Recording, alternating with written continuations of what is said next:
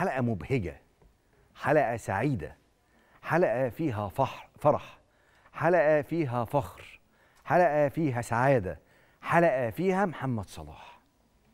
يا جماعة زي ما قلت كده في المقدمة إحنا محظوظين جدا جدا إن إحنا الجيل اللي عايشين محمد صلاح اللي عايشين إنجازات محمد صلاح اللي عايشين أسطورة الراجل ده.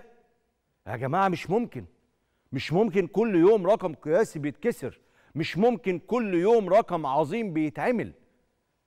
يا جماعة اللي بيعمل ده اسمه الملك المصري محمد صلاح. المصري محمد صلاح. كنت تحلم كنت تتخيل كان يجي في ذهنك إن يبقى في لاعب مصري موجود في البريمير ليج. هداف دائما للبريمير ليج.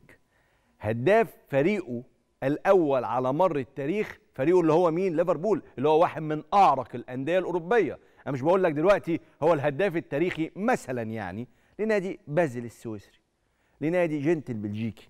مش بقول لك مثلا هو آه الهداف التاريخي لنادي آه في الدوري الفنلندي ولا في الدوري الأسباني حلو. الدوري الدنماركي التركي لا أنا بقول لك هداف ليفربول في الدوري الإنجليزي. الهداف التاريخي للفريق ده في الدوري الإنجليزي.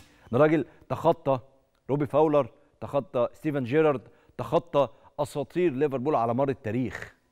أسماء عظيمة عدت على الفريق ده صلاح فوقيهم كلهم. هو رقم واحد. النهارده هداف رسميا لليفربول على مر التاريخ في البريمير ليج. ويشاء القدر إن الرقم التاريخي ده لما يتكسر يتكسر في مباراة تاريخية. مباراة تاريخية لليفر ولصلاح سبعة صفر قدام مانشستر يونايتد. يسجل فيهم صلاح هدفين ويعمل اتنين أسيست. نموذج ملهم رائع. أنا عارف إن الكلام على صلاح خلص بس ما هي أرقامه مش بتخلص فطبيعة الحال مضطرين نكرر ونقول ونعيد. يا جماعة ده ملهم يا جماعة ده مثل يا جماعة ده قدوة يا جماعة ده مفيش زيه يا جماعة ده أعظم لاعب في التاريخ. أكيد في تاريخ الكرة المصرية هو أعظم لاعب دي ما فيهاش جدال. في تاريخ الكرة الأفريقية هو أعظم لاعب في تاريخ الكرة العربية هو أعظم لاعب حتى في تاريخ الكرة العالمية على الأقل هيتحط في قائمة فيها عشرة لاعبين من بين الأعظم على مر التاريخ. في كده. ده لو اتقال مثلا النهارده هو 100 تخطى روبي فاولر بقى عنده 129 هدف. 129 هدف مع ليفربول في البريمير ليج. انت متخيل الرقم؟ انت متخيل بالمناسبة يعني. هو جاب ال 129 هدف دول في 205 مباراة. اللي تخطاه مين؟ هو تخطى مين؟ روبي فاولر. روبي فاولر بقى لما كان جايب 128 هدف كان جايبهم في كام مباراة؟ 266 مباراة. يعني محمد صلاح تخطى روبي فاولر منقوصا عن روبي فاولر ب 51 أو 61 مباراة. 61 مباراة فرق وجايب الرقم ده.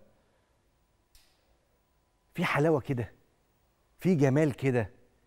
وبعدين من أيام ما كان بيلعب في فيرونتينا و AS روما وهو بيلعب في الدوري الإيطالي ومتالق ومكسر الدنيا كنت تقول إيه؟ ده آخر موسم. صح مجربين مجربين. لعيبة مصريين كانوا بيروحوا يتألقوا نص موسم مش موسم كمان نص موسم وبعد كده بيختفوا. تقول إيه؟ ده آخره. خلاص خلصت ما عندوش تاني. راح تشيلسي الإنجليزي وكلنا قلنا لا لا لا ما هو برضو اللاعب المصري ما يقدرش يلعب في البريمير ليج. ما ما نجحش مع تشيلسي وما لا لا مش هو آخره الدوري الإيطالي ده بالكتير قوي مش هيقدر يدي أكتر من كده. يروح ليفربول يعمل موسم خرافي خرافي. يسجل 34 هدف في 38 مباراة وبالمناسبة ده رقم قياسي أيضا في البريمير ليج في تاريخ البريمير ليج. مفيش لاعب سجل الهدف عدد الأهداف دي في 38 مباراة في تاريخ الدوري الإنجليزي. قلنا برضو إيه دي حلاوة البدايات. هو بس إيه منتشي وفرحان بالدوري الإنجليزي وعايز يعوض اللي حصل في تشيلسي فجاب الأرقام العظيمة دي.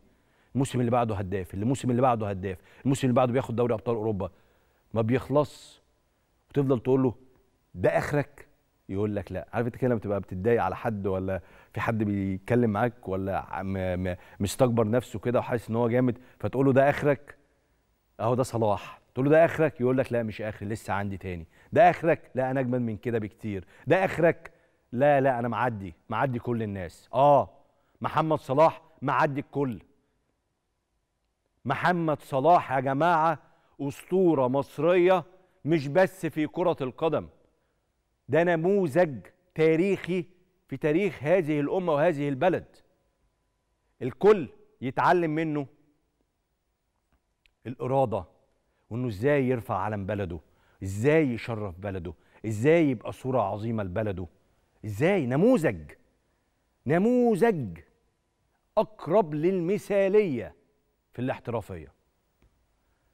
الفرقة بتاعته تبقى وحشة هو كويس. الفرقة بتاعته تبقى جامدة يبقى هو أجمد واحد. الفرقة بتاعته آه، بتاخد بطولات ما يهبطش يفضل مكمل. مفيش مفيش بعد كده جمال. هندرسون النهارده تحدث عن ده وقال إن محمد صلاح ما بيفكرش في حاجة غير كرة القدم. يورجن كلوب النهارده تصريحاته عن محمد صلاح مدهشة وقال حاجة مهمة جدا وقال حاجة مهمة جدا. قال لك إنه تقدير الناس تقدير الناس لمحمد صلاح دلوقتي هو تقدير كبير. بس محمد صلاح هياخد حقه أكتر في المستقبل. لما الناس تتذكر هذه الأرقام وتقعد تفكر هو إزاي قدر يكسر الأرقام دي كلها في الوقت القصير ده. العالم كله يتحدث عن محمد صلاح النهارده. ال account الرسمي الحساب الرسمي للبريمير ليج النهارده منزل أرقام محمد صلاح اللي هو أكتر لاعب في تاريخ البريمير ليج بشكل عام يسجل بقدمه اليسرى. أكتر لاعب أفريقي يسجل في البريمير ليج أكتر لاعب في تاريخ ليفربول يسجل أهداف. أرقام أرقام عمالة تتكسر وعمالة تتوزع. أنت متخيل؟ عارف ليه بقول لك متخيل دي وأنا من جوايا قوي إحنا يا جماعة الجيل. أيام هنا على التلفزيون المصري لما كانت تذاع مباريات أوروبية وإحنا صغيرين ناس تحديدا اللي هم جيل الثمانينات اللي زي حالتنا واللي قبلنا طبعا. لما كانت بتتذاع مباريات على التلفزيون المصري وعلى قناة نايل تي في أنا فاكر كويس قوي الأيام دي. وبعد كده لما كانت بتتذاع في أي مكان آخر كنا نقعد نبص كده ونقول ياه!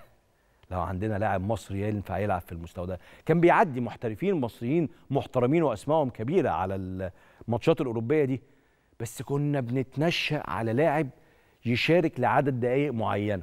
يعني لما كنت أنا فاكر والله لما كنت مش عايز أذكر أسماء عشان ما أحطش يعني ما أحطش مقارنات. هو طبعا محمد صلاح خارج المقارنة يعني. بس لما كنت بشوف الحكم واقف عشان يغير لاعب مصري واقف على الدكة نازل في الدقيقة 90 كنت بتنطط. من الفرحه نازل في الدقيقة 90 بجد هيلعب. ويا سلام لو سجل هدف. ويا سلام لو عمل اسيست وكان زمان بنحط فاكرين أنتوا طبعا الفيديوهات والأهداف دي كانت بتجينا كان النت طبعا وقتها مش بالسهولة زي الآن يعني. ندور على المقاطع بتاعت اللقطات ديت. حتى لو مدافع شال كوره كويسة مدافع مصر شال كوره كويسة في رحلة احتراف نجيبها ونوزعها لبعض ونبدل الهاردات. وخد اللقطه شوف خش شوف الهدف ده جاب هدف خرافي هدف. دلوقتي صلاح ما مش عارف تشبع معاه. خد أهداف خد أسيستات خد إنجازات خد أرقام خد فخر خد عزة خد كل حاجة. مدهش. أصل اللي بيحصل ده أكتر بكتير من إنه كان يجي في خيال أي حد مع كامل الاحترام.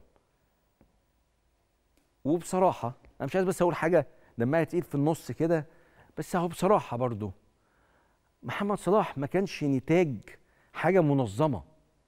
هو محمد صلاح حالة استثنائية كده حصلت لو حاجة منظمة هنفهم إنه ممكن يبقى فيه كذا محمد صلاح بس هو حصل طفرة كده لمحمد صلاح وتحسب له هو اولا تحسب له هو اولا إنه حافظ على نفسه واشتغل باحترافية.